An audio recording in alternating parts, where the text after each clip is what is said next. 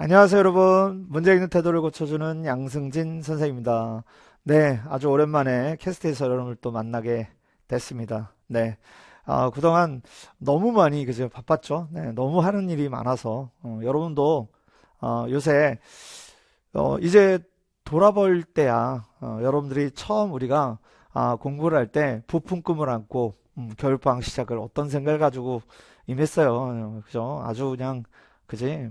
큰 포부와 그지 열심히 하겠다는 어떤 다짐과 어, 이런 걸로 아마 시작을 했을 것 같은데 어, 지금 이제 2월 이제 끄트머리에 와서 여러분들이 한번 돌이켜 볼 때가 온 것 같아요. 여러분들 아 난 정말 돌이켜 보면 잘했나? 난 정말 최선을 다했나? 어, 혹시 혹시 어 내가 정말 최선을 다하려고 딱 책을 펴들고 막 열심히 하려고 했는데 뭐 하나도 이해가 안 되네. 어 하나도 이해가 안 돼. 아, 왜 이렇게 어렵지? 그래서 아, 처음에 열심히 하려고 했던 그런 다짐과 뭔가 어, 그런 의지들이 어, 쉽게 꺾이지 않았나?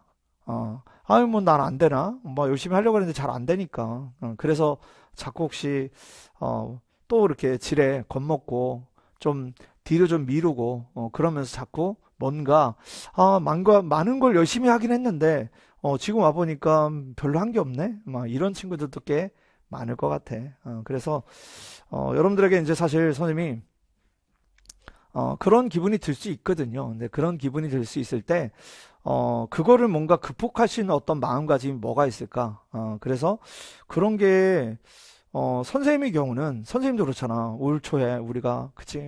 선생님이 이제 새로운 커리를 두 개나, 그죠? 런칭을 했잖아요. 어, 그래서 어, 정말, 어, 근데 선생님은 모든 커리를 선생님이 다 하거든요.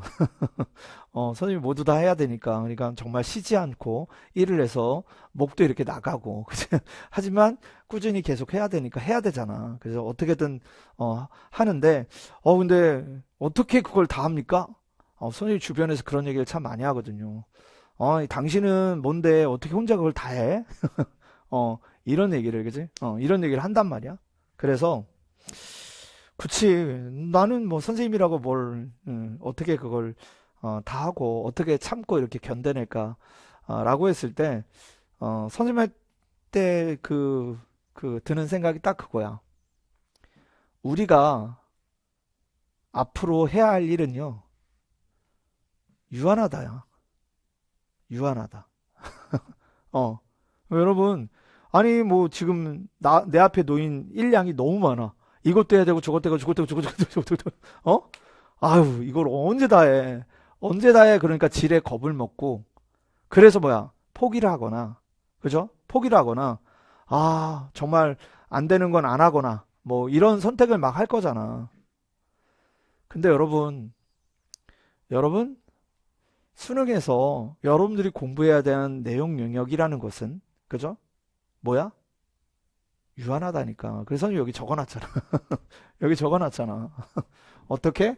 제발 이, 이 자명한 명제를 어, 여러분이 항상 마음에 두고 있어야 돼. 내가 지금 힘들고 너무 어려워서 포기하고 싶고 이래도 결국은 내가 공부할 양은 유한해. 그러니까 조금씩 조금씩 조금씩이라도 어, 여러분들이 어떻게든 이해해 보려고 앞발을 내딛다 보면 어느 순간에 그 조금 조금이 뭉쳐서 나중에 뭐예요? 어우, 유한한 그 끄트머리에 가까워져요. 가까워집니다.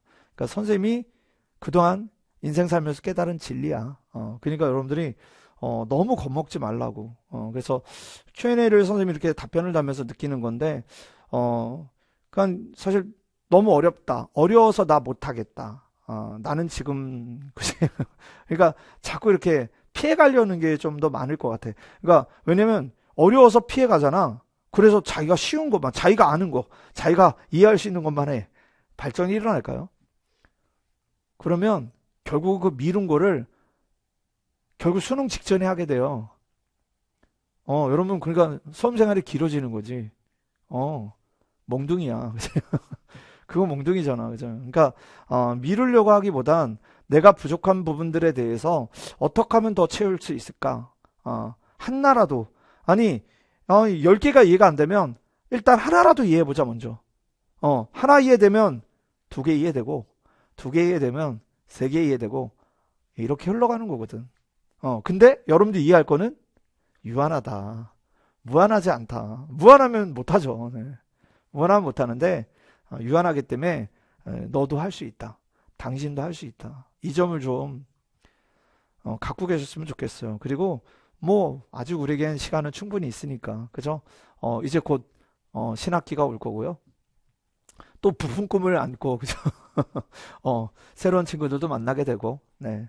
그래서 여러 가지 또 환경의 변화가 있을 수도 있고 어, 그런데 어쨌거나 여러분들이 어, 이런 그러니까 먼 기조를 뭔가 자신의 어떤 중심이 되는 기조를 갖고 공부를 하셨으면 좋겠습니다. 어, 그래서 어, 그런 안내를 좀 여러분들하고 공유하고 싶었어요.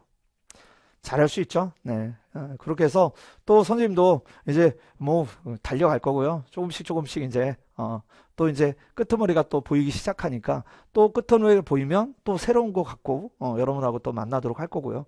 네. 그렇게 또 어, 다음 또 캐스트에서 만날게요. 오늘은 여기까지입니다. 바이바이.